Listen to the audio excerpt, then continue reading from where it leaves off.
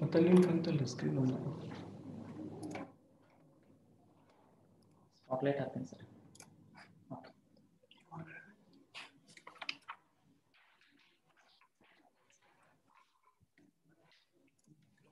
Sir, other than that, correct.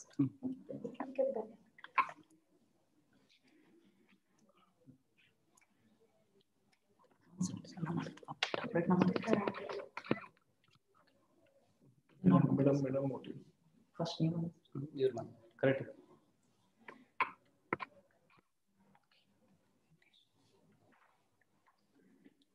A very good morning to everyone. I am Dr. P.S. Patil, Head of Physics Department, KLE Societies, KLE Institute of Technology, Hubballi, Karnataka State, India. It's my privilege and honor to welcome today's speaker, a well-known researcher in the field of solar cell technology, Dr. Savant, research professor at Polymer Energy Materials Laboratory, School of Advanced Chemical Engineering, Chonnam National University, South Korea, to today's webinar. On behalf of my institution and Department of Physics, I extend a warm welcome to the participants from different states of India and abroad to this virtual webinar. I also welcome our beloved principal, Dr. B.S. Anami sir, and Dean Academics, Dr. Sharad Joshi sir, for the webinar. I welcome heads of all engineering departments, basic science departments, and PhD research scholars of our institution. Once again, I welcome you all. Dear participants, today we are virtually connected for the webinar on perovskite solar cells. Perovskites are a promising material system to make high performance solar cells.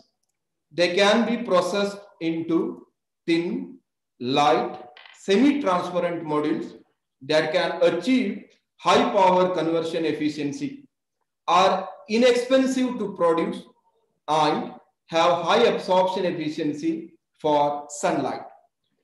Because they can be made semi-transparent, perovskite solar cells and modules can also be used on top of silicon solar cells. These tandem cells have a huge potential to boost the efficiency of solar panels and might even prove to be most cost-effective approach to further improve the efficiency of photovoltaics. This webinar aims to address what are perovskite photovoltaics and how they can compete with the current photovoltaic technology. In this webinar, the resource person, Dr. Savant, will enlighten us the latest developments and backgrounds on this technology. I ensure the webinar will be beneficial for everyone present here.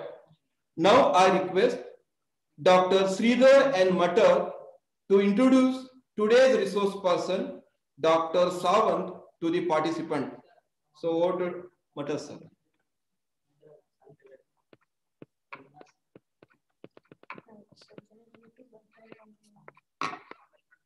ಹಾಂ sir Thank you, sir. A very good morning to all. It is an honor and privilege for me to introduce today's eminent speaker, Dr. Savant S. Mali, to this gathering. Sir has completed his uh, MSc, PhD from Shivaji University, Kolhapur.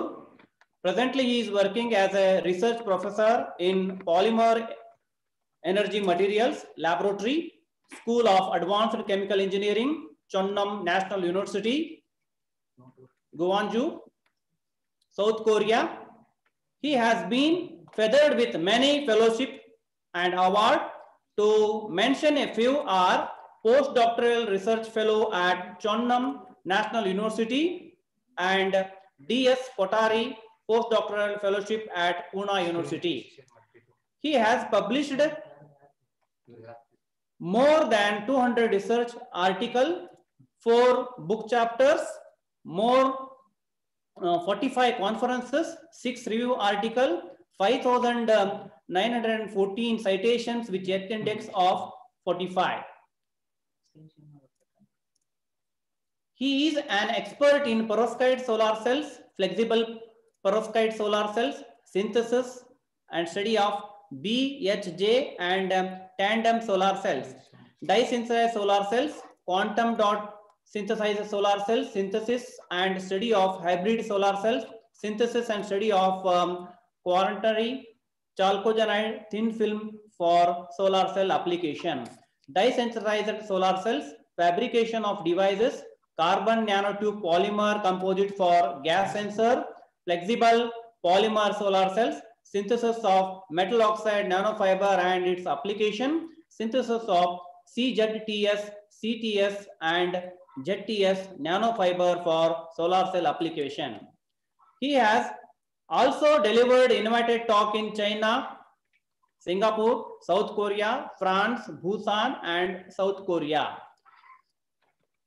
He is here, sir has contributed a scientific community with a new recipe for synthesis of various nanomaterial, including TiO2, ZN, zinc oxide, and CZTS, P-type uh, nickel oxide with a different nanostructure and successfully implemented in DSSC, QDSSC, and uh, perovskite solar cells.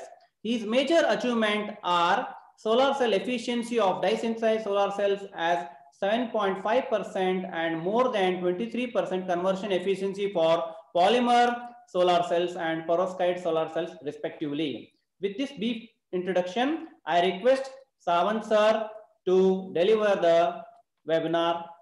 Over to you, sir.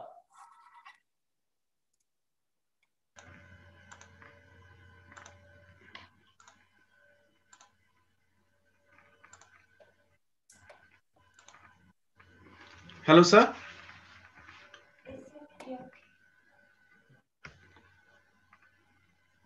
Hello, sir.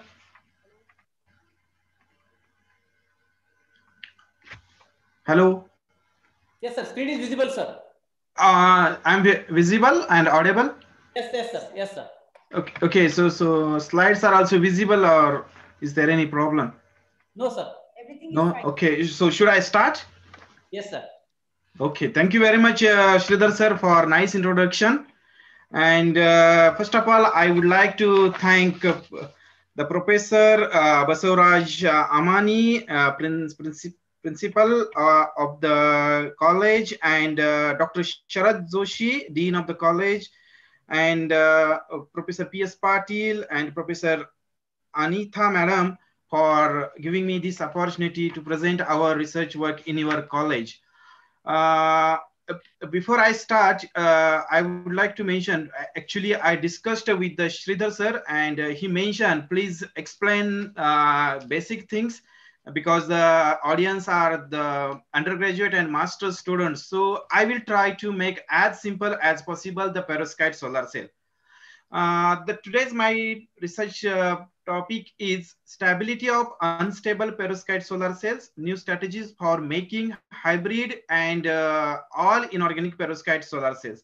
Currently, I'm working in the Chonnam National University with Professor Chang Kook Hong from last eight years.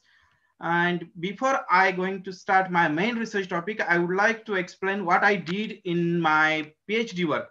Basically, I worked uh, on synthesis of different uh, nanostructures such as uh, TiO2 or zinc oxide and CZTS with the help of the hydrothermal technique. And that nanostructures has been used for the fabrication of low cost dye-sensitized solar cell and quantum dot sensitized solar cell. And further, we used uh, uh, that kind of uh, uh, nanostructures for fabrication of large area. Even uh, we fabricated 5 by uh, 10 by 10 centimeter square area for the dye-sensitized solar cell. And with this uh, Professor Patil's help and uh, our lab efforts, we achieved a 7.5% conversion efficiency for the dye-sensitized solar cell and uh, around 3.4% for the polymer hybrid based solar cell. So this is my PhD work. And uh, today I'm going to uh, explain the what is the uh, what are the generations of the solar cells and then i will move to the perovskite preparation from uh, precursor to the device fabrication uh, then i will focus on the hybrid perovskites uh, how to fabricate the perovskite thin films using the different composition and application of the solvent engineering method then I will discuss which are the electron transporting layer, ETL and HTLs, and how to make the air stable perovskite using the de new developed technique. And then I will also discuss some uh, novel ideas like waterproof perovskite solar cell, printable solar cell. And then I will uh, discuss little about the all inorganic perovskite solar cell. That is our current task for upscaling the uh, perovskite photovoltaic technology. And finally, I conclude my session as everyone know that the currently we need uh, energy so different energy sources but the renewable energy sources is really promising uh, promising area. Currently we are uh, currently we need almost uh, 16 terawatt global energy uh, power that we need and uh, it is projected around 30 terawatt in by 2050 so we we are really need the electricity or uh, energy in, in different sources. Uh, as globally, the uh, currently China, US, and India are almost contributing more than 17% energy demand, and that energy is uh, basically we are uh, obtaining from the gas, renewable energy, oil, and coal and nuclear energy. However, the renewable energy is really uh, promising because we don't uh, we don't have any uh, global house or global warming issues, and therefore people are interested to make the as efficient as possible the global energy resources, renewable energy resources. Uh, as far as the renewable energy sources, there are uh, many types such as wind, uh, wind energy, tide energy, geothermal energy, hydroelectric energy, biomass energy. However, they are contributing a really small amount. And uh, if you check the solar energy currently, currently, I'm sorry, there is something, okay. Sir, you are audible, sir. Audible, okay. So currently, uh, uh, if if we cover all perovskite solar, any kind of solar cell on whole uh, Earth, then we will get around 1.2 into 10 raised to 5 terawatt uh, energy. But of course, this is not possible. And on the land, uh, almost 27% land, we can get uh, 36,000 terawatt. Of course, the device should be 100% efficient. So at least we can we can uh, focus on such kind of renewable energy with the help of photovoltaic technology and uh, basically the conversion of photo uh, solar energy into electric energy. The conventional method is to uh, grow the plants harvest them and then burn and then you will get the energy. This is the basic uh, solar energy conversion that um, uh, traditionally we are using. But the problem is the co2 emission emission and global warming. So another uh, technique is the photosynthesis. The usually plants are uh, uh, using the photosynthesis method with the help of the chlorophyll, and they produced uh, some kind of energy in the valuable products such as ethanol or something we can use. But also that is very less. So we need to we need to uh, develop the different device that can absorb the photon energy and convert into the electricity. So the easiest way to produce the electricity is the photovoltaics. This is the very first demonstration uh, in 1839. They used some electrochemical electrochemical photocell, and once the light is illuminated, this type of device, such kind of voltage and current was generated. But of course, the efficiency and other things are really, really low. Then the, after 50 years, the this scientist in uh, 1883 he developed a, such kind of uh, stacking cell. He used some metal plate which is coated with the selenium, and he covered with the aluminum aluminum plate. And that type of device uh, was also showing some kind of photovoltaic effect and produced some electric um, some voltage and current. But of course, the efficiency was not good. Then nearly 70 years later, Bell Laboratory first demonstrated the silicon solar cell. The silicon solar cell, this is the very simple diagram that they published in uh, 1954. So they used a very thick uh, p-type of silicon uh, la layer and uh, which is covered with the n-type semiconductor and then windows layer and they made the p-n junction. I will discuss the later, but this is the first uh, uh, solar cell they fabricated in 1954 54 by Bell Laboratory. And this technology now is commercialized and we can get the more than uh, at least a 25% power conversion efficiency at the module scale. So if you check the cumulative installed uh, solar power capacity globally, so currently we are getting almost 600 gigawatt from the solar photovoltaics. And if you really check the price of the photovoltaic silicon photovoltaic technology initially it was really expensive around $76 you need to pay for the one one uh, watt. But nowadays uh, it almost 0.3 us dollar in 2015 and recently the one of the technical bid was open and the, one of the company marubeni he he they uh, they quoted the they can provide the 2.4 cent per kilowatt hour power energy with the help of solar uh, solar PV. So that means the so, uh, solar cell is a really uh, cheap technology that we can that that we need to de develop because we we have to focus on the non renewable energy in order to uh, remove the or in order to nullify the global warming issues. So the basic concept is to produce the electricity from the sunlight with the help of the photo uh, photovoltaics, solar cells, and then we have to store it because the solar light is not 24 hours available. And then we can implement such as electro, uh, electrical vehicles. So this is the basic concept. Actually, I'm not expert in the battery solar uh, battery, but there is a lot of research is going on the battery. But uh, in this uh, lecture, I will uh, discuss only the photovoltaics. So based on the different different types, the uh, solar cell can be categorized into, into three major uh, generations, such as uh, first generation contains single crystalline silicon solar cell, second generation, which is CIGS CDT based, and third generation, we can call it as a building photovoltaics. And this building photovoltaics really cheap than the conventional uh, conventional photovoltaic. Uh, these uh, building photovoltaics or low cost photovoltaics can be categorized into two different types. One is the organic photovoltaics and sensitized solar cell.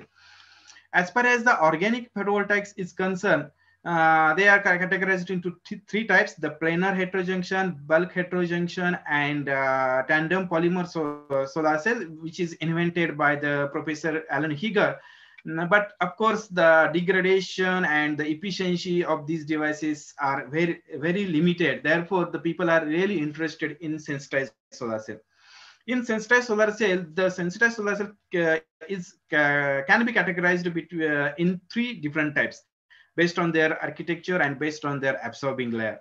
So first one is the dye-sensitized solar cell which is also called as a Grätzel solar cell because Grätzel he invented first time then the quantum dot solar cell in which instead of the dye, they are using, the researchers are using the quantum dots as a light sensitizer or light absorber.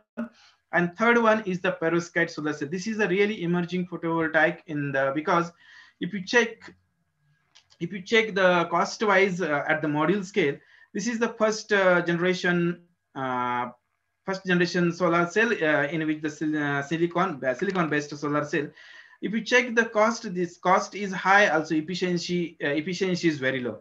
In case of the second generation, especially dye-sensitized solar cell, of course, dye-sensitized solar cell are uh, low cost, but uh, if you check the efficiency at the module scale, then almost 10 or 12% efficiency can be produced with the help of the dye-sensitized solar cell.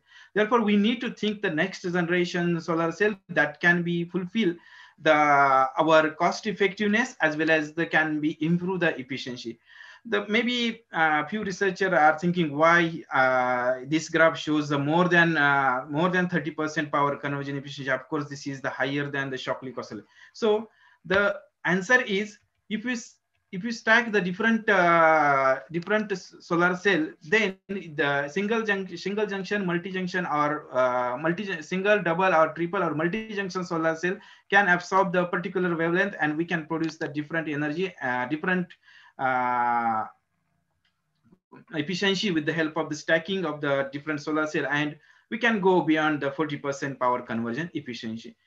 Uh, before I start uh, the main topic, I would like to explain what is the exact uh, exact working principle of the different solar cell. Here is the two different animations.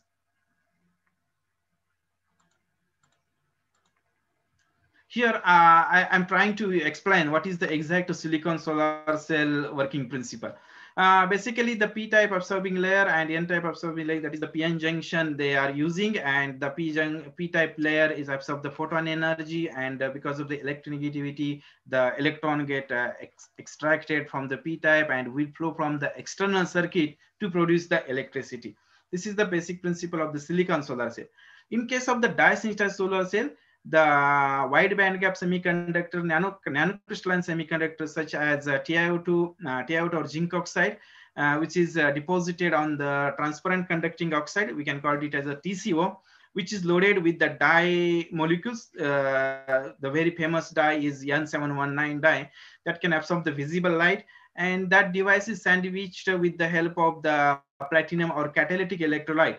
And once the uh, light is illuminated, such type of devices, the uh, dye molecules absorb the photon energy will and uh, the, the dye get excited and because of the energy level, the electron will transfer from the conduction or HOMO level, uh, level to the uh, dye to the uh, conduction band of the TiO2 and we flow from the external circuit. At the same at the same time, there is oxidation and reduction takes place in the liquid electrolyte and uh, that kind uh, that kind of device can produce the electricity.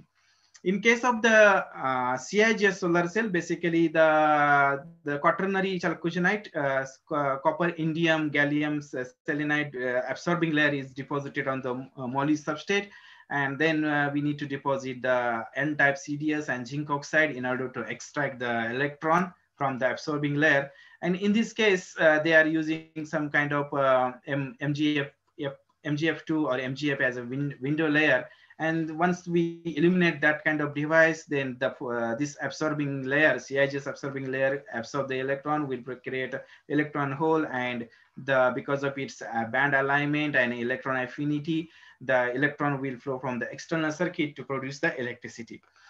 Then, as I mentioned, the polymer solar cell, that, that is also one of the building photovoltaic because of its low cost uh, and can be easily processed uh, using the simple solution, solution process.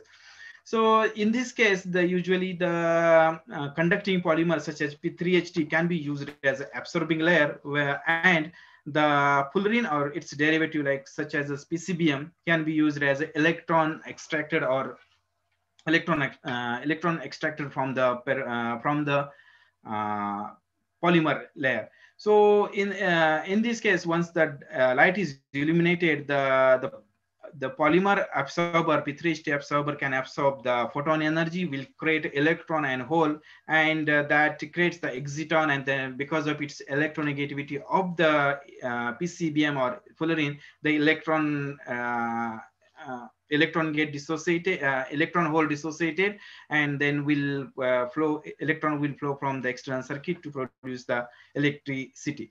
Uh, in this case, the electron hole uh, dissociated, uh, dissociated very effectively, but the problem is that this kind of devices are really unstable in ambient condition and uh, of course, the efficiency is also low. Therefore, people are interested to make to make the perovskite solar cell. Uh, this is the very simple uh, schematic uh, representation of the perovskite solar cell. Here, uh, I have used uh, the TCO, that is FTO, which is uh, coated with the mesoporous and compact TiO2. and that compact TiO2 acts as a electron transporting layer, which is further solution processed I have used for the fabrication of the uh, perovskite thin films and we need to deposit uh, the hole transporting layer which is the p-type uh, semiconductor that can transfer the uh, hole from the perovskite layer. And finally we need to deposit silver or any other go uh, silver or gold or uh, aluminum as a top contact.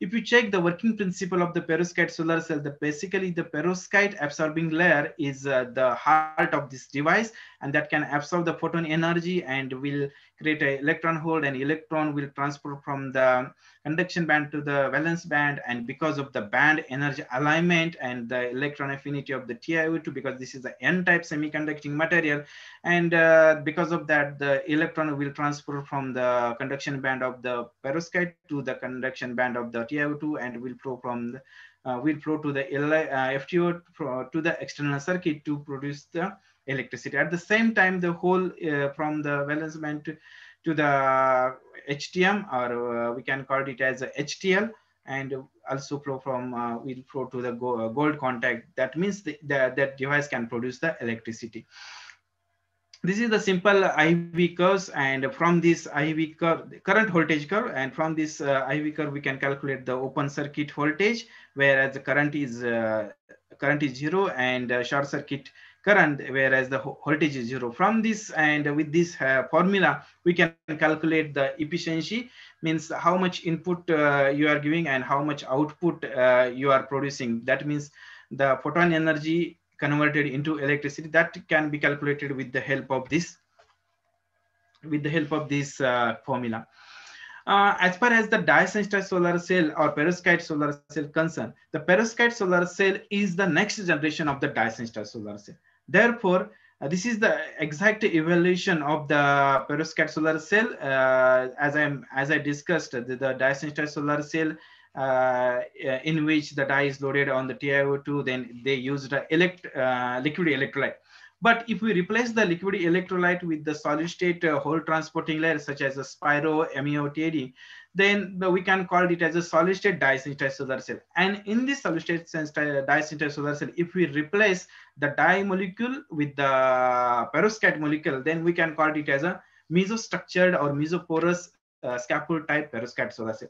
However, uh, most of the time we don't need this mesostructured uh, mesostructured uh, layer and if we remove that type of uh, layer then uh, we will get the uh, planar type perovskite solar cell uh, usually the compact TiO2 or SnO2 or zinc oxide or doped metal oxides uh, wide band gap semiconductor can be used as electron transporting layer whereas the Spiro or other uh, hole transporting or p-type semiconducting materials can be used as a, a hole transporting layer.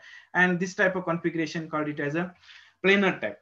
So so based based on the uh, based on the electron type of the electron transporting layer and type of the hole transporting layer and their position. Uh, either it's uh, bottom or either it's top. Based on that the perovskite solar cell can be categorized into four different types such as NIP uh, mesoscopic. Here the uh, the nomenclature will start from the illumination side because the FTO is the transparent conducting oxide. So in this case, the the perovskite solar cell uh, or this type of solar cell should illuminate from the FTO side. So once I eliminate the FTO side, the first layer comes the uh, electron transporting layer or ETM, uh, such as TiO2. So I, I can nomenclate, uh, that uh, perovskite device as N. And because of its ambipolar nature, I, I can mention the intrinsic semiconductor I and then P-type layer is comes, that means the P-type. So I can call it as a NIP type if I uh, if I uh, replace the mesostructure and only I used uh, uh TiO2, then I can call it as a NIP planar type. In case of the uh, in case of the hole and uh, hole and electron transporting layer, if I replace the replace the electron transporting layer with the hole transporting layer, then perovskite, then electron transporting layer such as PCBM can be used as electron transporting layer.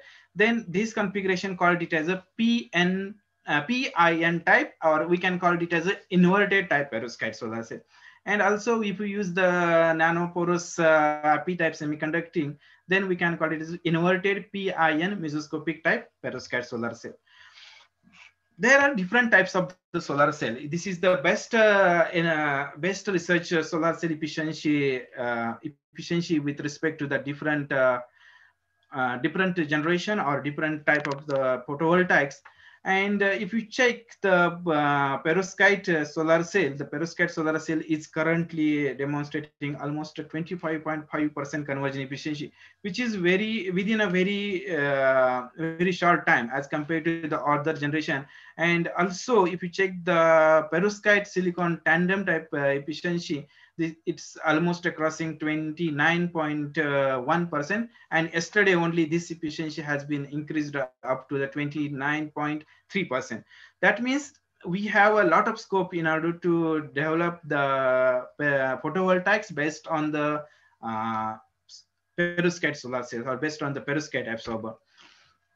And uh, this is, as I mentioned, the perovskite, uh, uh, as, as I mentioned, the photovoltaics can produce more than 40% uh, power conversion efficiency. This is because of the, if you use the multi-junction um, multi-junction solar cell, or we can stack the different uh, absorbing layer, uh, different band gap material, one layer by layer, then we can produce the different voltage and different current. That means we can cross Shockley-Queisser limit with the help of the uh, stacking or multi-layer, multi-junction solar cell. So in, in case of the perovskite solar cell, the current trade is to make the highly stable perovskite with the help of the mixed cations and mixed uh, uh, mixed anion uh, anion based perovskite solar cell and uh, the we have to make it stable moisture uh, air and moisture stable with the help of the different uh, PIN and NIP structure. And finally, we have to fabricate the large scale and that device may maybe uh, can be fabricated either flexible, so we can use uh, any, any, any item. So current task is to make the highly efficient perovskite solar cell, which are highly stable and uh, should be flexible. And uh, as far as the commercialization aspect is concerned, the perovskite uh, any kind of photovoltaic should be highly efficient, flexible, large area, should be uh, waterproof, and that can produce the more than 25% efficiency with uh, more than 25 uh, years stability. Of course, this is a ideal condition, but uh, we can, uh, the perovskite researcher or any other photovoltaic researcher, they are trying to make highly stable and highly efficient solar cell but the problem is that the perovskite is really hero or villain or just a plain fantasy. The this type of article has been published by Dr. Dev and uh, he mentioned that the perovskite solar cell is really hero because if you check the efficiency progress within uh, eight years, the efficiency is now crossing 29%. That means there is something to something and there is a promising property that can uh, that can uh, that can be used for the fabrication of the highly efficient photovoltaics. Uh, of course, there is a problem with the toxic lead, but if you compare the toxicity with respect to the uh, energy produced and how much amount we used, then I think uh, only two milligram uh, is needed in order to produce the one watt, one watt electricity. But if you compare the the lead used for the battery automobile battery that is really 20 pound that is really very high as compared to the uh, as compared to the perovskite solar cell that means the perovskite solar cell uh, of course that is a toxic but uh, with the amount of lead that we are using is really really less. If you uh, check the energy payback time of the different photovoltaics uh, then I can say the perovskite solar cell are really cheap and really uh, very short energy payback time for the as compared to the other photovoltaics. And of course, the recently the CO2 emission factor for the perovskite is uh, slightly high, but we can recycle the peros uh, lead from the perovskite. That uh, that process is also very simple, and people are uh, also using the recycled PB for the fabrication of new perovskite. That means the toxicity uh, that can that issue can be uh, tackled with the help of this technique. So st starting with the perovskite solar cell the perovskite solar cell uh, the perovskite is a name of the scientist and it's a name of the crystal structure. The perovskite is a very similar structure as a calcium titan titanate or calcium tri titanium trioxide and uh, the calcium is uh, situated at the center and the titanium at the uh, corner side corner side and the oxygen is, uh, is face centered so so if I replace the calcium with the, the A site, uh, general formula is AbX3. Suppose calcium is A site, where titanium is at the base site and oxygen as X site.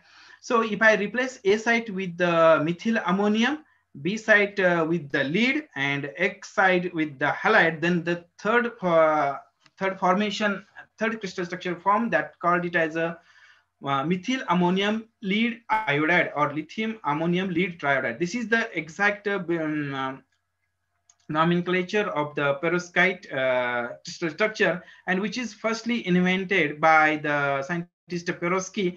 Uh, and after that, all structures which is similar to the, this uh, calcium titanate called it as a perovskite structure.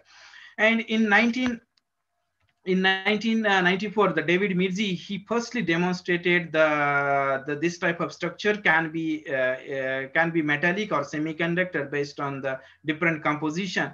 And the Professor Miyasaka, he is the one of the Japanese scientists. He firstly demonstrated the in 2012 the perovskite can be used as a light absorber. Uh, this is the uh, energy band gap uh, uh, band structure of the perovskite. Here the p-type uh, uh, p uh, pb p orbital is contributed for the formation of the conduction band while halide p orbital and pbs orbital is contributed to form the valence band and because of its strong light absorbing ability in the visible light and it has a tunable band gap with low exciton uh, dissociation energy and low defects, the perovskite uh, solar cell can produce the nearly equal open circuit voltage uh, as uh, as its band gap.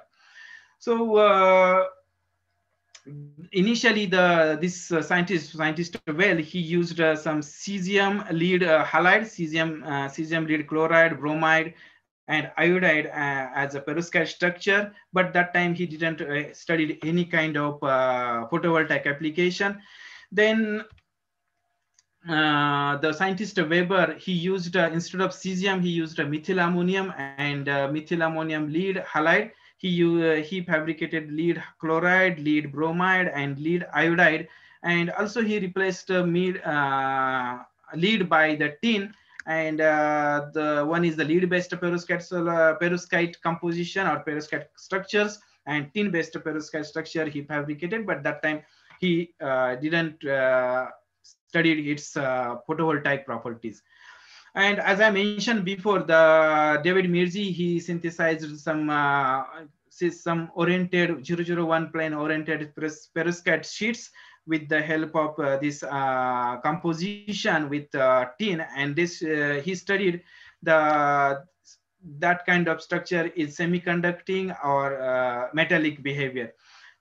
And in uh, 2000 the, in 2002 the, the professor miyasaka and kojima he they used uh, some kind of methyl ammonium lead bromide uh, composition. They used some solid reaction and uh, fabricated the uh, similar dye-sensitized solar cell uh, dye-sensitized solar cell configuration. And that time they demonstrated 2.1% efficiency. Of course, this efficiency is really low, but uh, this is the first demonstration that uh, this type of configuration or this type of structures can be used as a light absorber.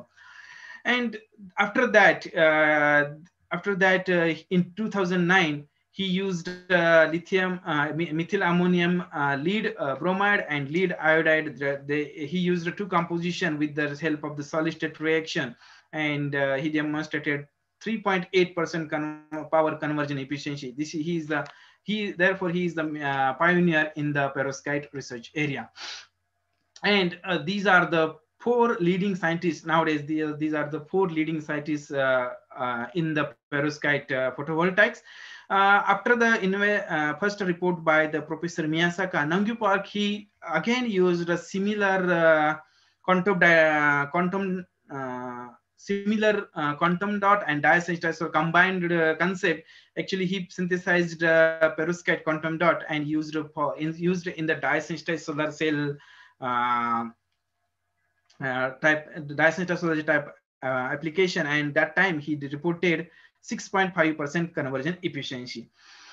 After uh, two years, the professor Grätzel, he used instead of the liquid light because the Nam-Gyu Park reported the 6.5% conversion efficiency, but the efficiency that devices are not stable and that degrade within a 30 minutes, as he many times uh, mentioned about this uh, degradation issue.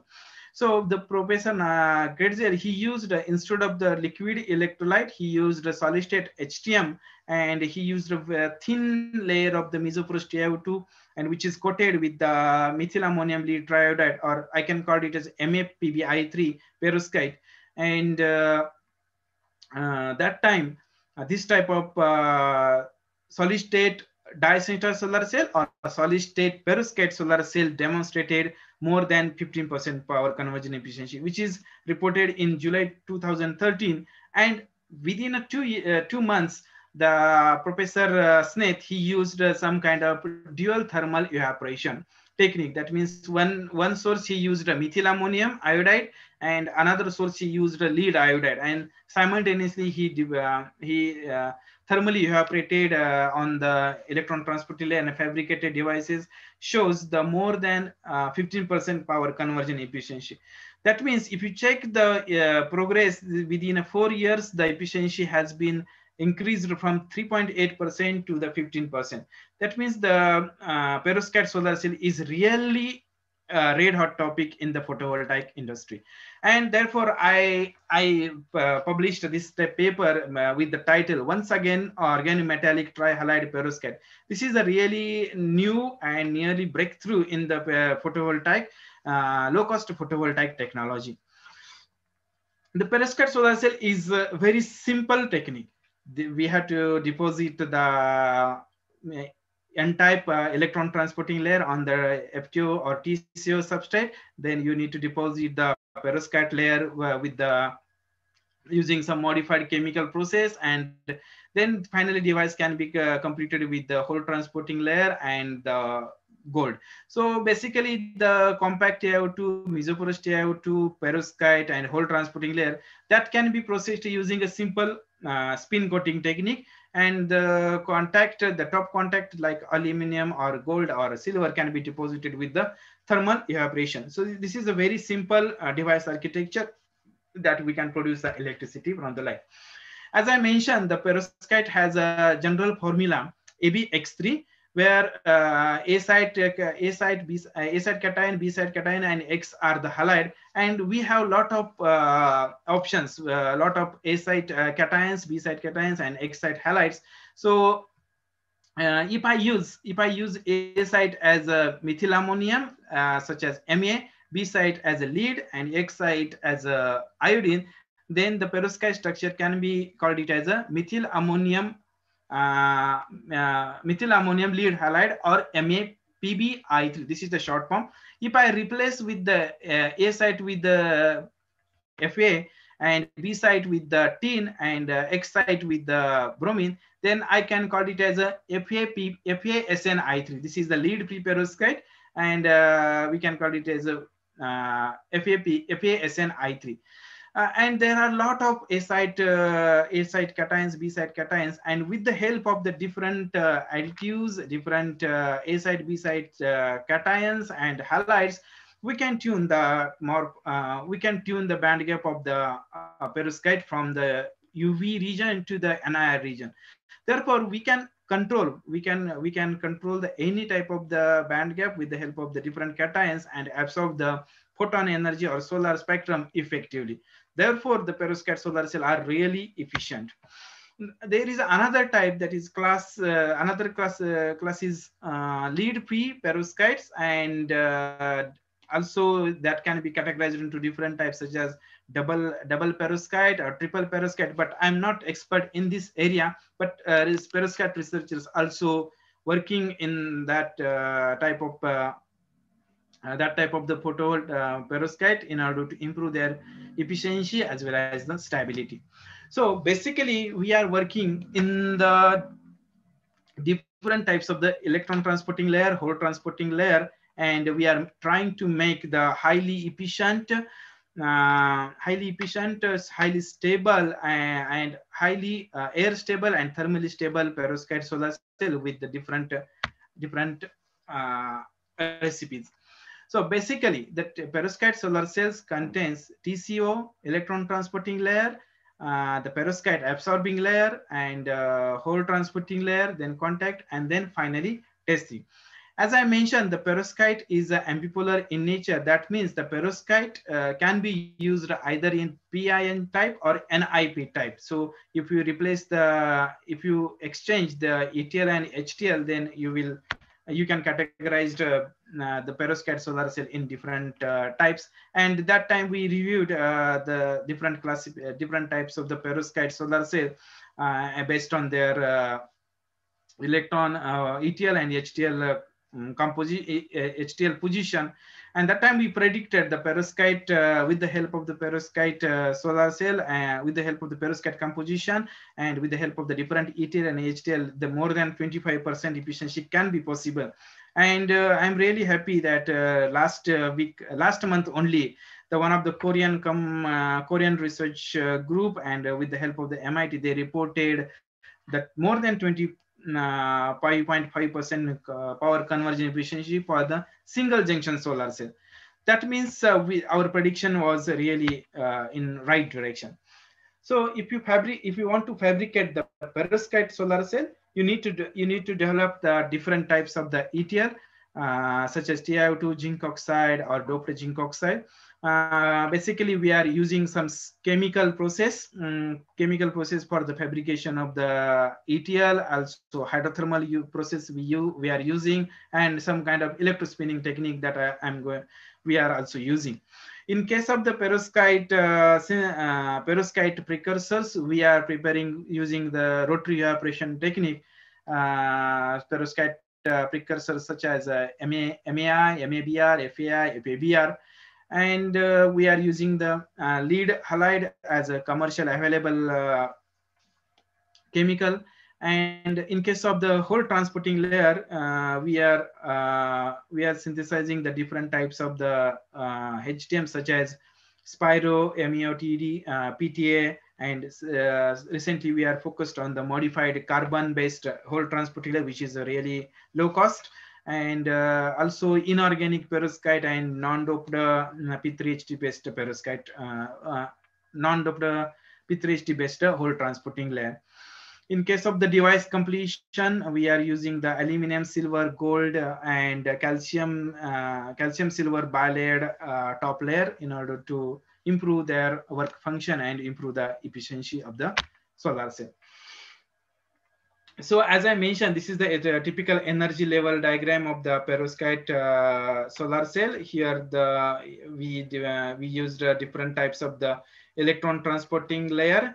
Uh, we are uh, currently we are working in the this type of the perovskite absorbing absorbers, and this um, we also used the different types of the spiro based, uh, PTA based, P3A based HTM and uh, our main uh, main target is to make the highly stable highly efficient and hysteresis free uh, perovskite solar cell with the help of the unique composition of the organic or inorganic perovskites uh, with the help of this, we uh, fabricated in June 2013 the very simple uh, simple device structure which is a deposited with which contains the mesoporous TiO2, perovskite absorber, and hole transporting layer.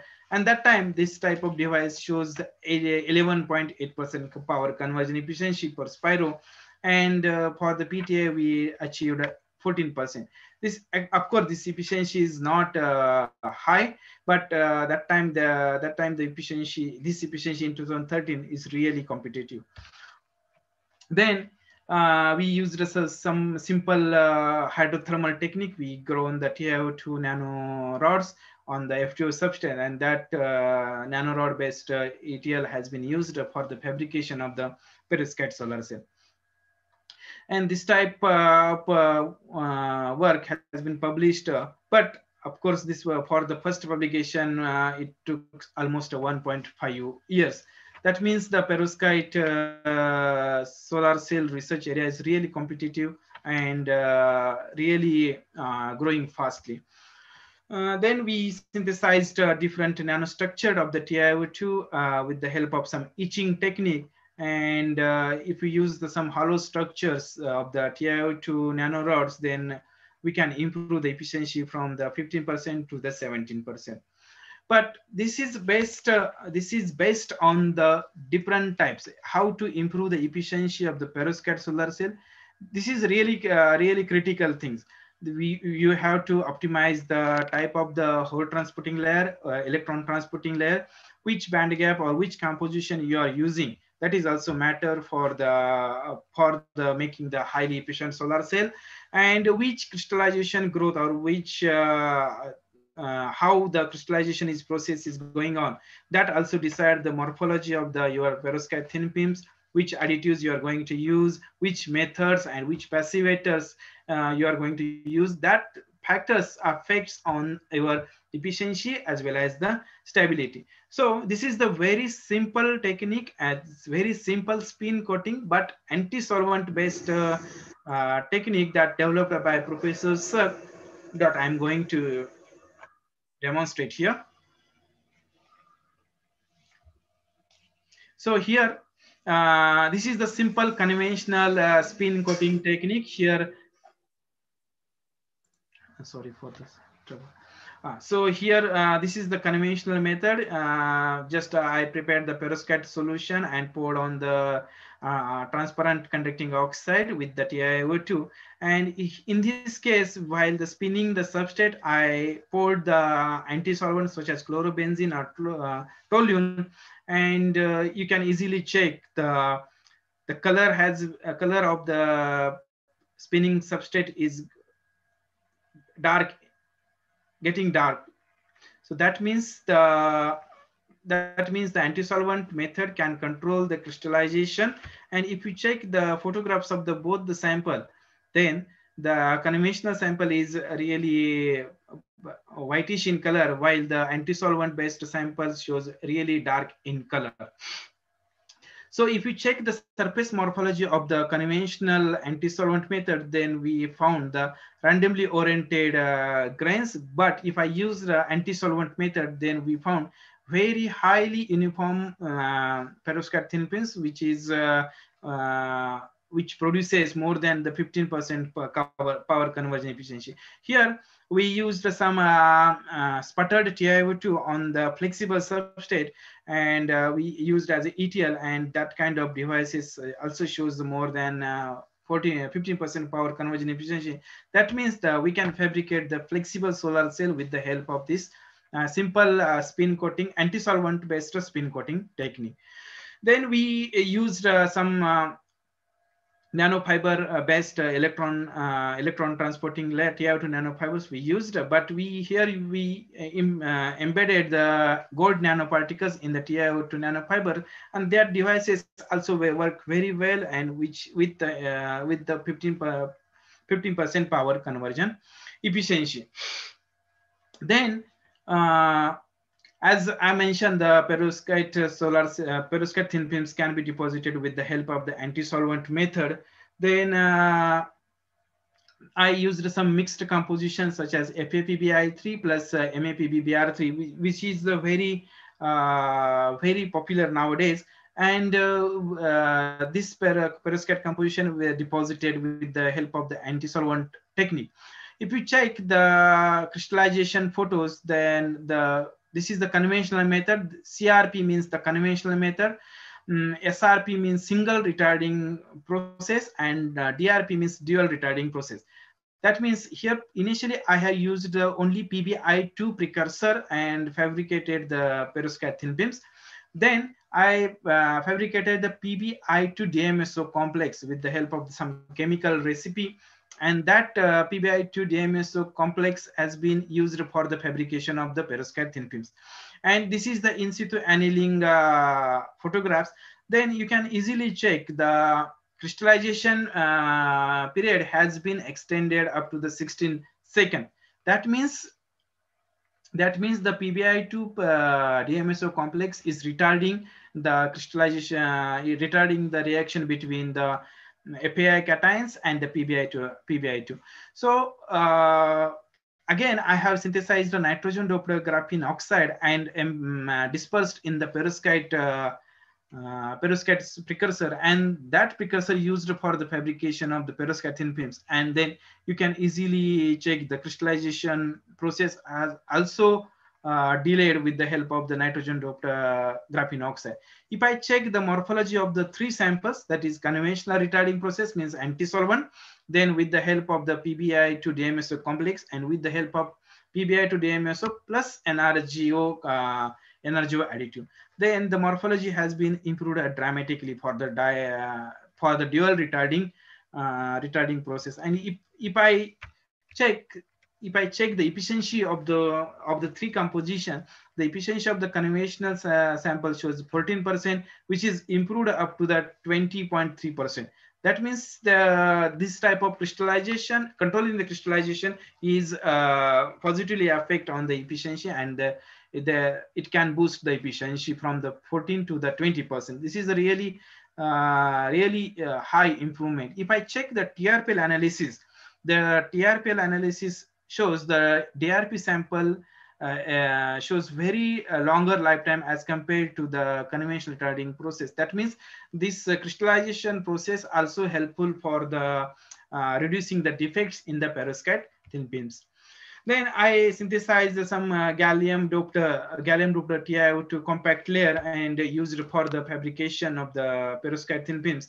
Then if you check the surface morphology of the different ETLs, uh, this is the conventional TiO2 and I have used gallium doped uh, TiO2.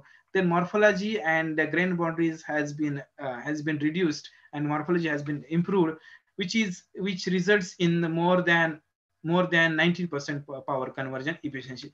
That means the electron transporting layer or electron mobility of the TiO2 or ETL is also playing a critical uh, role in order to improve the efficiency of the perovskite solar cell then I, uh, as I mentioned, based on the, the, the position of the uh, electron transporting layer and hole transporting layer, now we can categorize uh, different config, uh, we can categorize the perovskite solar in different uh, types. But in case of the PIN type, uh, the PIN, PIN inverted configuration can be categorized into four different types. Uh, here the planar inverted, uh, then metal oxide based, uh, then two metal oxide based meso mesostructured, and then metal mesostructured metal oxide based HTL and ETL. So initially I will start with the type second. Here I have used nickel oxide. Basically, the PEDOT:PSS can be used as a hole transporting layer, but PEDOT:PSS is not a stable material because uh, it degrades seriously uh, in ambient conditions. So instead of the metal, uh, instead of the uh, polymeric hole transporting layer, uh, we use the nickel oxide, which is highly stable in ambient condition and uh, which is which is used as HTL and deposited on the ITO substrate and the perovskite absorbing layer is deposited with the help of the anti-solvent method and device is completed with the PCBM as a ETL. And that device is also produces more than 15% power, power conversion efficiency.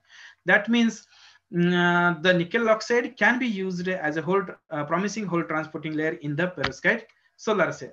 Therefore, we uh, we decided to use some nanostructured uh, nickel oxide and I have used uh,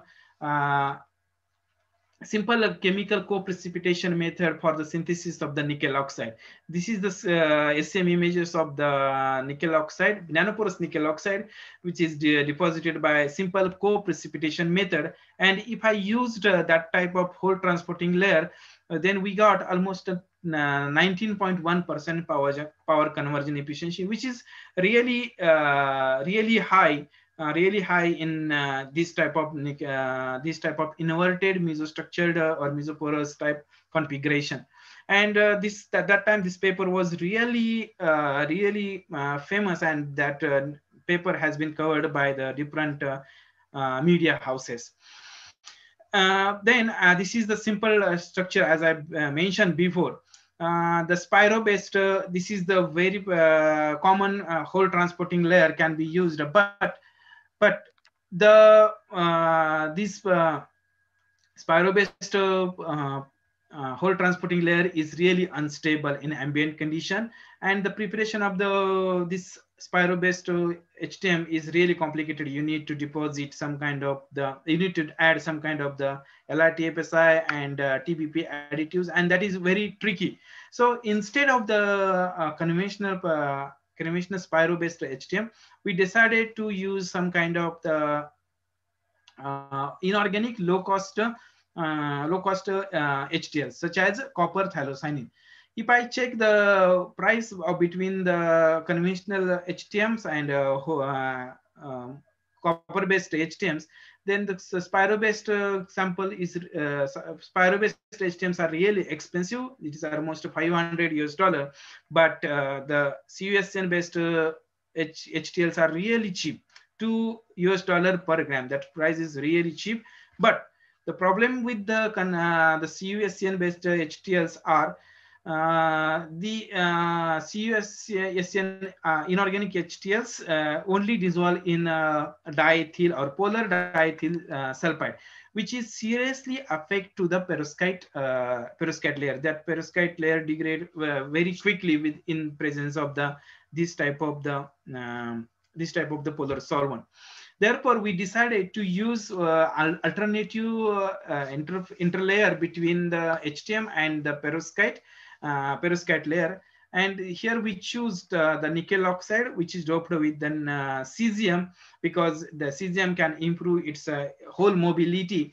And uh, we inserted the cesium doped nickel oxide uh, between the copper uh, thiocyanine and uh, perovskite layer. means the before deposition of the copper thiocyanine, we used we deposited CS nickel oxide in the chlorobenzene solvent and interestingly, that devices also shows 19.2% power conversion efficiency. Uh, if I check the thermal stability, of course, the conventional spiro-based uh, HTMs are not thermally stable, but the copper uh, thiocyanine-based uh, HTLs are really uh, thermally stable. And if I monitor the device stability under uh, 85 degrees centigrade thermal st stress, then that devices are really stable over uh, 150 hours. And also we check compare the stability with the different hole transporting layers. And i believe that the, our modified cs nickel oxide with the copper thiocyanine based htls are really stable and shows more than 100 hours stability at 60 degree thermal stress. So this paper is uh, also published in the materials today. Then i uh, as I mentioned, copper thiocyanine can be used for the fabrication of the low-cost perovskite solar cell. Uh, then I used a simple, this is a simple humidifier, humidifier that we are using in the winter. So that can produce the mist, uh, water mist. But instead of that, I, I, uh, I thought that, that can be used for the uh, spraying the perovskite uh, HTL solution, HTL solution on the perovskite. So I used uh, this type of the simple uh, low cost uh, spray or humidifier for the deposition of the hole transporting. And I used also reduced graphene oxide in order to protect the gold diffusion, gold diffusion from the top to the perovskite layer. And that devices also exhibit more than 19.5% conversion efficiency. So uh, I can say the perovskite solar cell can be fabricated with very simple techniques. If I check the stability of the both the sample, the conventional spiro-based, as I mentioned, not stable at the thermal uh, with the thermal stress. Uh, but uh, if I use the CUSN RGN based, that devices are stable in the ambient condition. Also we have fabricated the one by one large area uh, device uh, which which shows almost 18.3% conversion efficiency. That means the technique can be uh, upscale at the large area. But the problem is that as i mentioned most of the previous our work is based on the ma based uh, ma based uh, perovskite. But the ma based perovskites are really sensitive to the heat moisture and light they, they are seriously degrading and uh, uh, forms the non-perovskite composition, which is uh, non-photoactive in nature. Therefore, people are interested to make the Fa-based uh, perovskite, Fa-based perovskite, which uh, uh, call which can call it as a FAPBI3, which shows 1.47 electron band gap, which is lower than the Fa. That means that means we can also absorb the photon energy solar spectrum from the solar spectrum very effectively. Therefore, I used uh, this composition and I added uh, some rubidium in order to stabilize the perovskite uh, precursor and uh, improve the stability. And I reduced the methyl ammonium uh, content in order to improve the stability. And uh, we used some different types of the hole, different types of the hole transporting layer. And we used different types of the anti-solvents such as anisole, chlorobenzene, and toluene.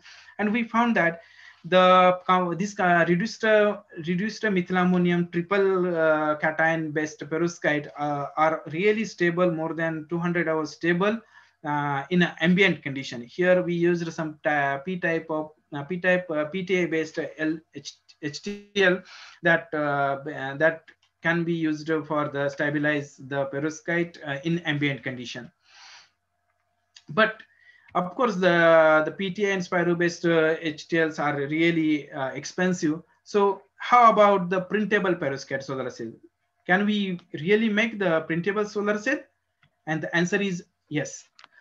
Uh, here we used a simple uh, blade coating technique for the synthesis of the mesoporous TiO2 and uh, which is loaded with the perovskite. This here we used a spin coating technique and instead of the hole transporting layer, uh, instead of the hole transporting layer, we used uh, carbon based uh, with uh, some kind of methyl ammonium addit additives. And that uh, carbon paste has been deposited on the perovskite layer. And that device is really working. If I check this uh, device efficiency, the device efficiency of the device of the carbon based device shows more than more than 12% efficiency. And uh, the, if we check the ambient stability, ambient stability of the uh, this devices, this is really high, really high compared to the conventional uh, conventional Spiro based uh, device. And uh, actually, I used these devices, the carbon based hole transporting HTM based devices used for the waterproof analysis. And I flush this device under a tap water and I exposed uh, directly to the water for many times. But the carbon-based uh, uh, carbon-based uh, perovskite solar cell really sta stable. Even I exposed seven times with the water. That means we can make the waterproof perovskite with the help of this uh, uh, with the help of this method. Uh, in case of the Spiro, these devices are uh, not really stable in ambient condition. And if, if I expose to the water, uh, then that, that, that device, Spiro-based device degrade very quickly. This is the demonstration that uh, we fabricated the carbon-based uh, uh carbon-based uh, perovskite solar cell and which is stable in ambient condition. We checked the more than uh, one, 160 days, that means more than three, six months, we just uh, studied the stability, but that devices are really stable. You can easily check the this uh, fan is connected with the very small one by one centimeter square uh, area of the perovskite solar cell that we connected directly to the fan and that can produce the electricity.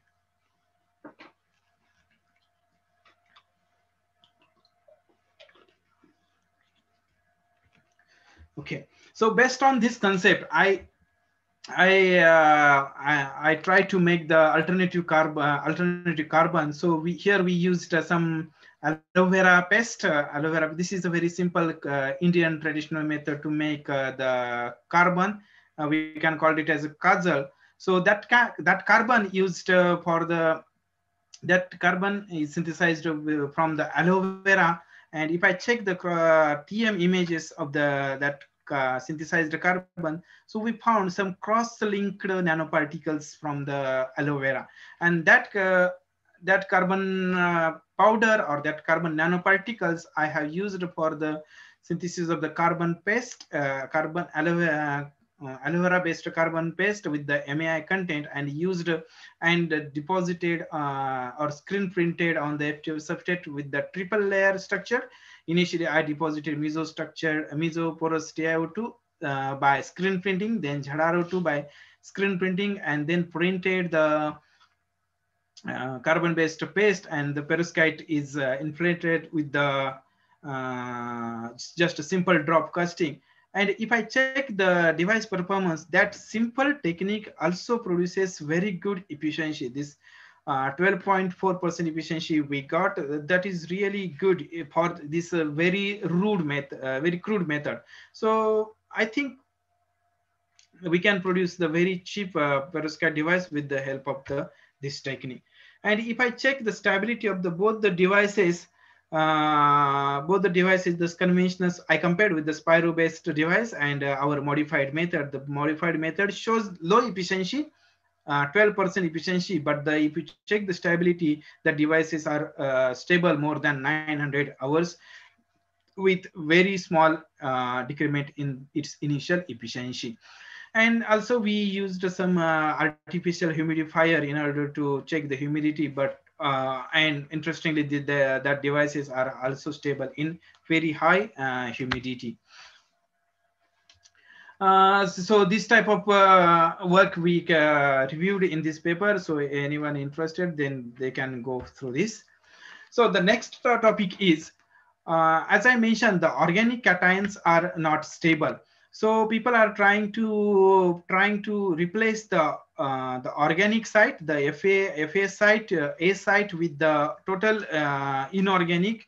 So if I replace the FA site with the cesium, then third form, third configuration will form, a third perovskite configuration will form that we can call it as a all inorganic perovskite solar cell.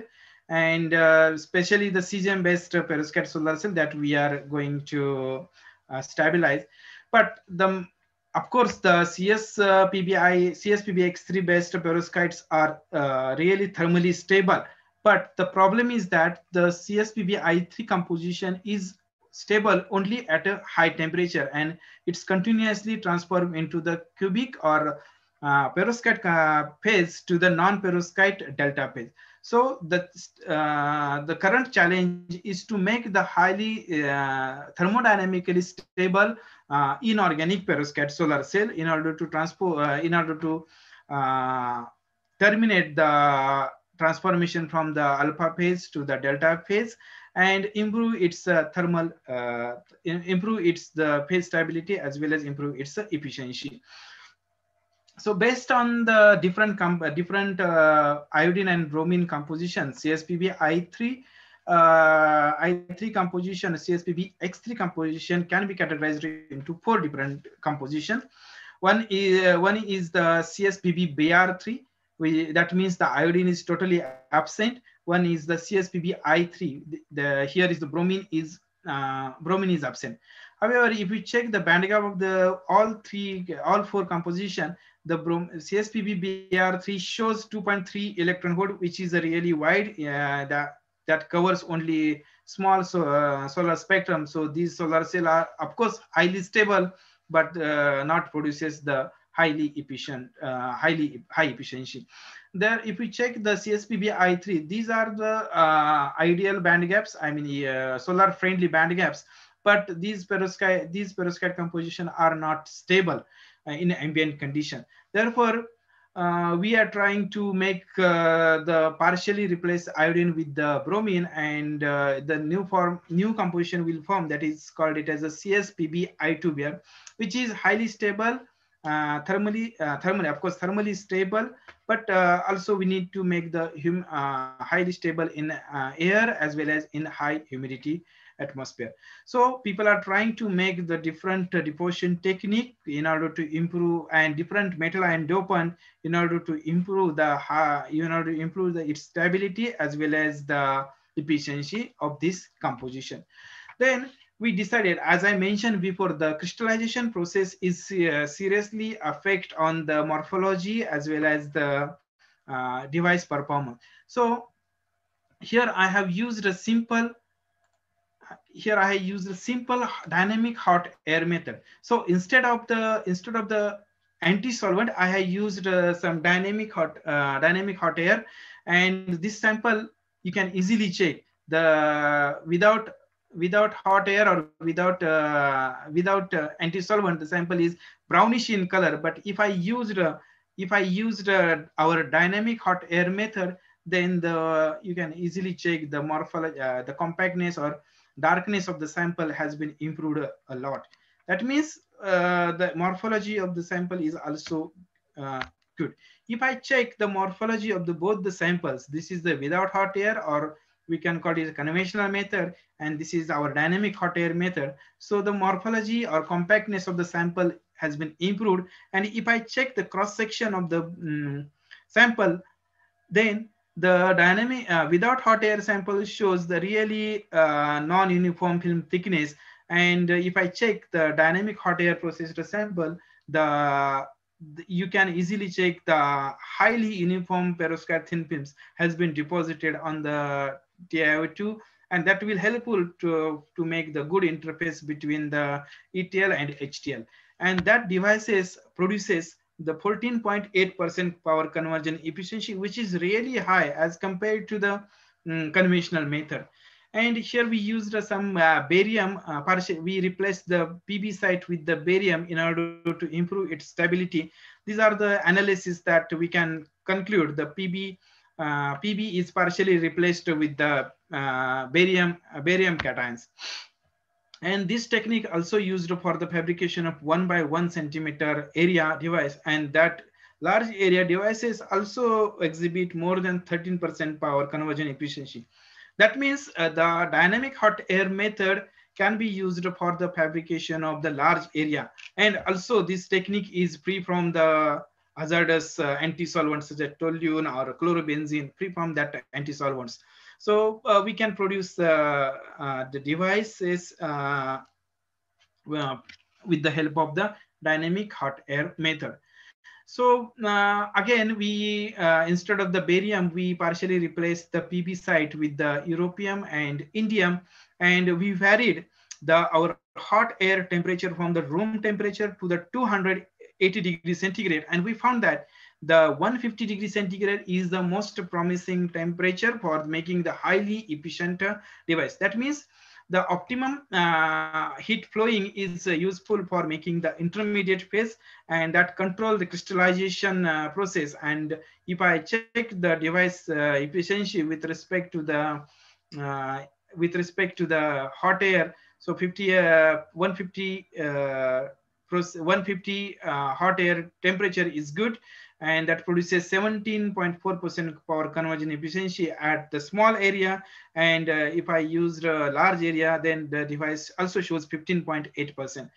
That means uh, we, if we replace the uh, PB site, if you replace partially the PB site with the different cations, then we can make the highly efficient and highly stable perovskite solar cell. Uh, and especially these are the uh, all inorganic, which is processed in the air. So we can we don't need any kind of glove box to fabricate a uh, perovskite solar cells. If I check the stability of the both the samples, uh, I mean, uh, I compared the conventional sample and conventional method with the modified method with the modified composition, then I believe that the CSPBI2BR with europium or with indium uh, doping will improve the uh, efficiency as well as the stability. Uh, in order to check why these why these devices are stable, we checked uh, we checked the FIB analysis with respect to the different dopants uh, of the fresh samples and after 14 day samples, and we found that the bare samples the morphology or in uh, uh, compactness of the uh, compactness of the perovskite layer has been disturbed in the uh, in the bare sample. That means there is a ion, uh, ion or halide migration takes place uh, in the CSPB I2Br composition. However, uh, if I use the indium, uh, indium or europium, the morphology of the sample is intact. That means the doping uh, or partially replacement of the PB site with the europium or indium can terminate the ion migration, and that is the main reason to uh, that is the main reason for improving the stability of the perovskite, uh, inorganic perovskite solar cells. Then instead of the mesoporous TiO2, we have uh, used some uh, Mg doped Mg doped zinc uh, Mg doped zinc oxide and used as an electron transporting layer, and uh, uh, that uh, we used um, as ETL and fabricated devices, and that devices also exhibited uh, exhibited uh, more than 15% power conversion efficiency. If I check the stability of the bare zinc oxide and uh, Mg doped zinc oxide, the stability of the Mg doped or our modified method shows very uh, very high stability compared to the bare samples, and that also uh, that also uh, that also exhibit a that also processed at a low temperature. That means we can use the low temperature processed uh, doped metal oxide in order to improve the stability as well as the efficiency of the inorganic perovskites. If I compare the stability, uh, if I compare the efficiency with respect to the different alternative ETLs, then I think uh, the Mg doped zinc oxide ETL shows very good efficiency, uh, which is processed in the ambient process and uh, uh, which is processed at low temperature as well as in an ambient condition. Uh, we uh, further we monitor the different uh, different halides with different composition, and this is the time lapse. Uh, uh, we monitor the stability of the perovskite thin films in an ambient condition at a high high humidity, and you can easily check the the optimum doping or optimum uh, P, P site replacement is uh, uh, that sample exhibit a very good stability. Yes, so you can check is a five percent sample shows very good uh, stabil very good uh, stability, and we also studied the different uh, dopant free hole transporting layer and that devices with the based on the our composition with the various dopant shows the uh, competitive efficiency. Then we checked the stability in various uh, halides such as chlorine, bromine, iodine, and fluorine. But I believe that the uh, chlorine-based uh, dopants are really stable. This is the more than 77% humidity. That means that devices are stable in uh, high humidity condition. And this technique can be used for the fabrication of the perovskite module. Here, here we used a uh, 5 by 5 centimeter square area and uh, this uh, technique, uh, the, the, our technique used for the fabrication of the perovskite, large area perovskite module. And you can easily check the, we can fabricate the large area, even five by five, five by five centimeter. So, and most importantly, the, these devices are stable in ambient condition. We can process in the ambient condition and produce more than 10% at the module scale. So if I compare the stability and other techniques, our hot air method shows promising uh, efficiency. How much time we have? Hello, sir. Hello. Yes, sir. You can take 10 more minutes, sir. okay, thank you, sir. Thank you, sir. I'm going to almost finishing the. okay, so if I compare the efficiency with respect to the conventional method and our modified method, then I can say that our modified method shows exhibit uh, very good efficiency, uh, which is processed in the ambient condition. Then if I check the if I check the uh, energy payback time uh, payback time of the uh, conventional so solar cell and the perovskite perovskite tandem solar cell, then I think the conventional solar silicon based solar cell shows uh, took almost 1.5 years, but uh, in the perovskite perovskite tandem solar cell, the it takes more than 0.3 years. That means more than within a three months we can get the all uh, all money that we invested for the fabrication of the perovskite solar cell. That means the perovskite uh, solar cell are really low cost, uh, uh, low cost uh, photovoltaic technology. And this is, uh, if I check the greenhouse gas effect, emission effect for the both the types, then perovskite solar cell shows really low greenhouse gas emission factor. That means we we are also concerned about the uh, environmental pollution um, uh, for the fabrication of the this type of photovoltaics. And I think the uh, the perovskite perovskite fabrication is uh, eco-friendly and low emission, low carbon emission based. So we can use the different techniques for the fabrication of the large area perovskite solar cell with the help of these uh, techniques we can fabricate and uh, we can make the different uh, composition with the inorganic and organic to fabricate that perovskite perovskite tandem solar cell. And that can be upscale that we are current currently uh, working on this aspect uh, and uh, soon we will get the good efficiency for the tandem. Uh, so there uh, there is many challenges for the for the fabrication or upscale the photovoltaic such as improve the stability or improve the uh, efficiency and processing environment that uh, that is the unification challenge for in order to make the commercially available perovskite solar cell. So people are researchers perovskite researchers are working on the different aspect such as the development of hole transporting layer uh, or ETLs and uh, with the help of the different uh, perovskite we can make the highly stable and highly stable uh, efficient perovskite solar cell. And uh, uh, that solar cell should survive at least uh, 10 years should be waterproof and uh, photostable thermostable. Uh, that we we uh, that researchers are tackling these issues in order to improve their efficiency as well as the stability. With the with these uh, efforts initially we started in 2012 uh, around 2000 uh, december 12 uh, with the 0% efficiency, but currently we are reaching almost 23.7% conversion efficiency uh, in case of the uh, organic inorganic hybrid perovskite solar cell, which is uh, very close to the world record.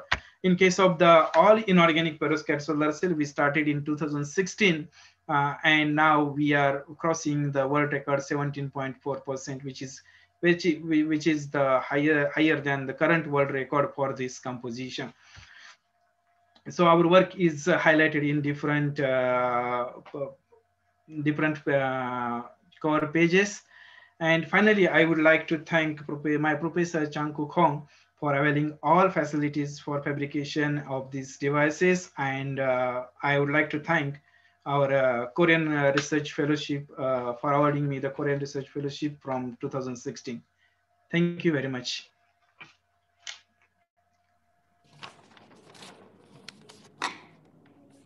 Thank you, sir. Thank you. Thank There you. are some- There are some interesting questions, sir. Yeah, okay. Yeah, I'll just read out the questions Mm-hmm. from um, Professor Vinayak Adimule. Ah. If both anodic and uh, cathodic perovskite NS is reactive, how to fabricate it during PV studies? Uh, could you please repeat once again? If both anodic and cathodic perovskite NS is reactive, how to fabricate it during perovskite uh, PV studies? Actually, anodic perovskite and uh, cathodic perovskite, there is another. Actually, perovskite is intrinsic semiconductor.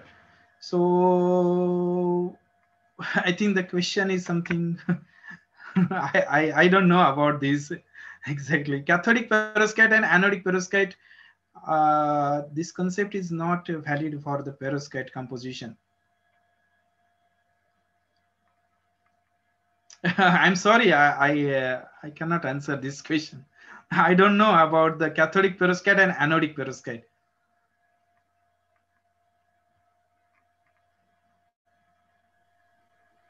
Hello, sir.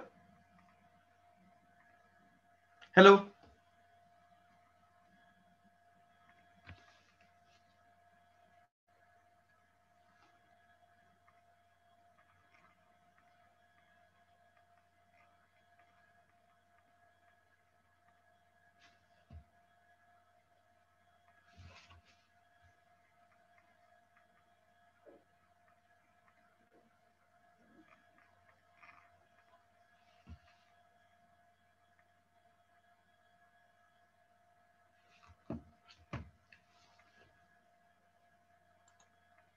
Hello.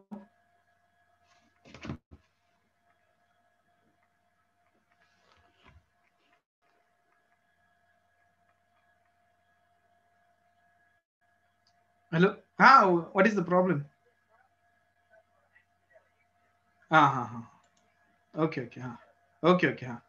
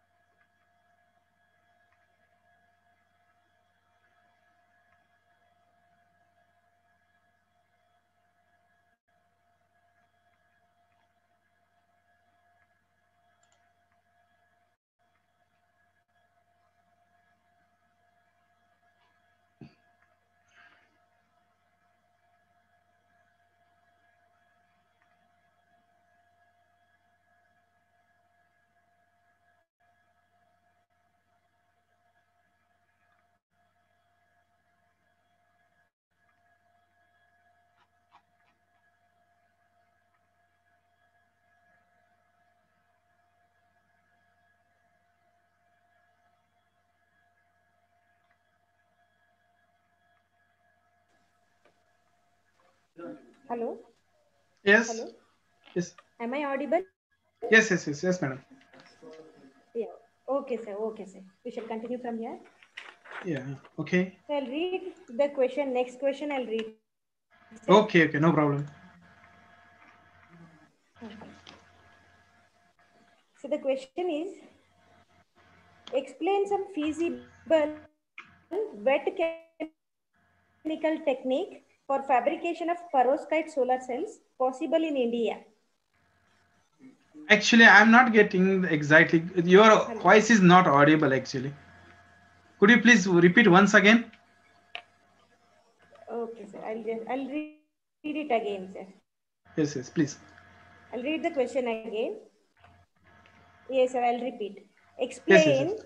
some feasible wet chemical te- technique for fabrication of perovskite solar cells, which can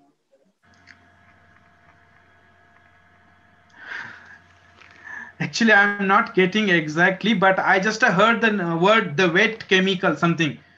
So yes, actually, perovskite solar cell is wet chemical process. The yes, wet chemical technique. yes, yes, yes. Actually, wet chemical fab- technique. Yes, yes, yes. Usually, this is a wet chemical process. Actually, we are using the some kind of the PbI2 and uh, uh, MAI as a precursor, perovskite precursors and which is dissolved in the DMF and DMSO solvent. And that solvent can be deposited uh, using the simple skin uh, spin coating technique or uh, uh, using just uh, a drop casting.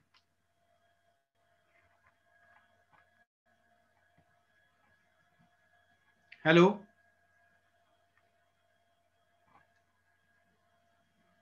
I think there is a technical problem. The audience can ask directly question to me. Actually, I don't know. There is some technical problem. Hello.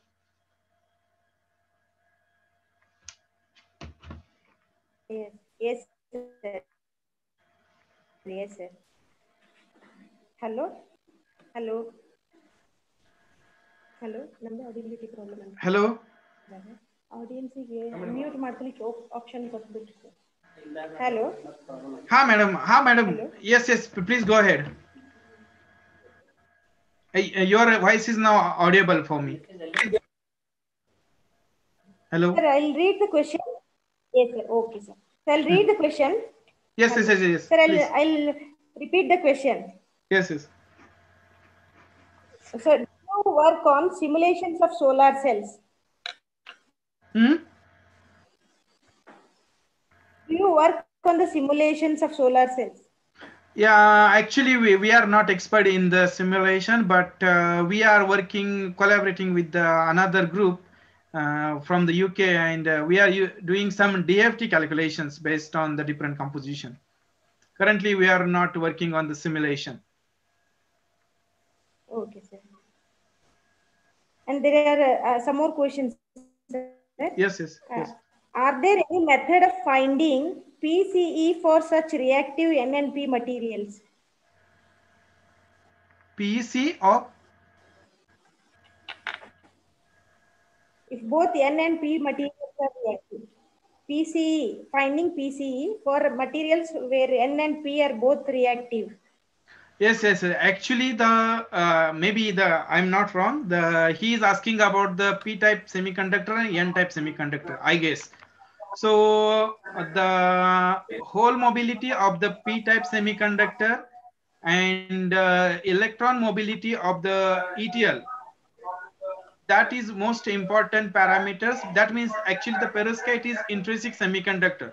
So that means we have to extract the electron and hole effectively from the perovskite layer. So these uh, P and N type is really affecting on the power conversion efficiency.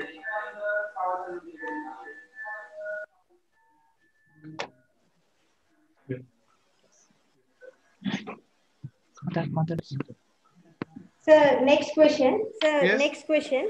How about the stability? How about the stability in outer space? The stability How about the stability in outer space High against high energy radiations? There is echo. Anyway, the outer space means uh, outside the uh, outside the Earth or outs in the ambient condition. If if he is uh, talking about the in uh, uh, ambient condition currently we are we st- studied almost two years stability of the perovskite solar cell in ambient condition. And uh, in case of the outer space uh, actually that is not our research area but one of the japanese scientists they studied the outer space. They sent the perovskite device in the their space lab and they studied and they i think more than three years they uh, studied the stability of that kind of perovskite. But that is not uh, our main topic. They are asking about uh, outside Earth, sir. yes yes yes. Outside earth uh, currently few researchers japanese especially japanese researchers out outside the space they are studying they sent the uh, perovskite devices outside the space and they studied and more than two years they uh, they are successful to stabilize the perovskite devices in the outside the space. Generally, in uh, perovskite, leakage current density will be high due to large depletion layer. How to overcome it? Uh, actually, in in the in this case, the defect level is uh, can be reduced with the help of the only passivation and reduce the defects. So your deposition technique uh, is uh, playing a critical role in order to reduce that kind of losses. And uh, you can use also passivation technique, such kind such as the polymeric passivation with the different cations and uh, reduce the uh, defects level or grain boundaries. And you can also use some kind of the additives such as uh, such as uh, ionic liquid or uh, such as uh, uh, chloride or, or halide based uh, additives. So you can improve that kind, you can reduce that kind of leakages. But basically the your film quality is should be as good as possible. That is the main key point in order to reduce that kind of losses. In case of MnO2 doped NS generally forms brown black surface on depletion over glass substrate, which uh, retard PEC. How to overcome it, sir? Uh, actually, Uh, he's talking about the MnO2. Yes, sir. Yes, sir. MnO2. Uh, as far as I know that the MnO2 is still not used in the perovskite, uh, perovskite solar cell, but the uh, the main criteria is the if he's talking about ETL and HTL, if the MnO2, I think it's a p-type semiconducting, but uh, the main issue is that the your ETL should be wide band gap semiconducting material. So you have to think about the uh, conduction band of the perovskite and the conduction band of the, your MnO2. If there is a band alignment, uh, so if the electron is flowing uh, in a right direction, then that can be used. But I, as per my knowledge, uh, still there is no any report based on the MnO2 because I think it's a low band gap semiconductor and it has a high recombination and the electron mobility is also very less. So at this moment, the MnO2 is not uh, good for the perovskites. Question, sir. Okay. Why the perovskite solar cell stability depends on power conversion efficiency where contradicts each other when power conversion efficiency is low, stability is high or power conversion efficiency is high, then stability is low. Is it because of structure effect or uh, photoactive layer or any other things matters? Actually, there are many aspects in the perovskite composition. First one is uh, which composition you are going to use. Uh, and which uh, which band gap. So band gap of that per, particular perovskite is uh, main uh, main aspect in order to improve the efficiency of the perovskite solar cell. Suppose if by using the wide band gap semiconducting materials, I mean wide band gap perovskite, such as above uh, above 1.9, that perovskite especially has a bromine content and bromine contents are highly stable but that absorb the very limited energy limited photon energy. In case of the low band gap of course they are highly efficient but the especially sn and Pb based are low band gap and sn is continuously transformed into the sn2 plus to the sn4 plus. So the perovskite structure stabilization is the main issue nowadays. So people are trying to make stable as well as efficient perovskite solar cell.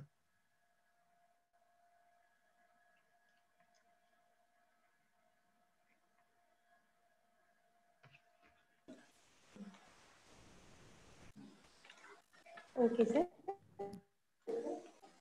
Uh, before concluding, I, Dr. Anita Nandurkar, would like to express my gratitude to everyone who are present in this meeting and those who are live on the YouTube channel. Respected Savant sir, Principal KLIT Dr. B.S. Anami sir, Dean Academics Sharad Joshi sir, our most valuable participants, ladies and gentlemen. On behalf of KLE Institute of Technology Hubballi, the entire team of Department of Physics, and on my own behalf, I extend a very hearty thanks to our today's speaker, Dr. Savan sir, for gracing his knowledge and sharing with us his findings and opinions. Perovskites have been a hot research topic for the past 10 years, but we really got to know much more about these materials.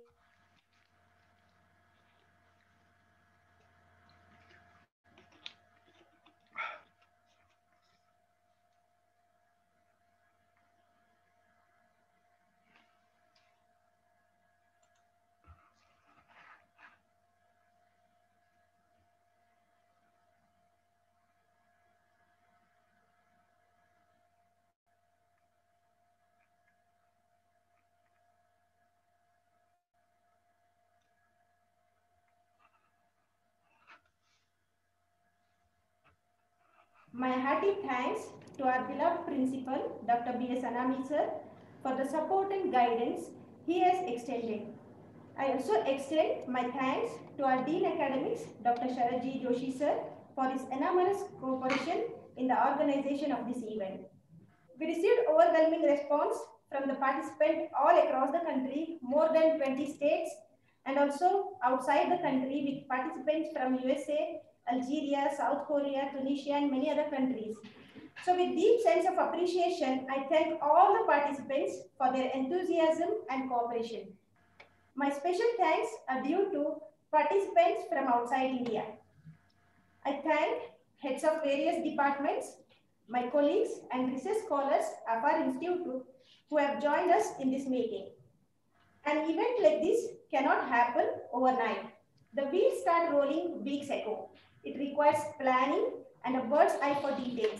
We have been fortunate enough to be backed by a team of motivated and dedicated colleagues, Dr. P.S. Patil and Dr. S.N. Mathur, and our lab instructor, Mr. Venkatesh Kulkarni, who knew their job.